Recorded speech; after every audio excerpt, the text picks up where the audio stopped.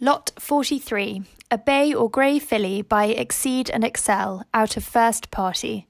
First Party, a winning daughter of royal applause, is a half sister to Party Boss, who numbered among his seven wins victory in the listed trial stakes at Lingfield, having also captured the listed Spring Cup at the same track.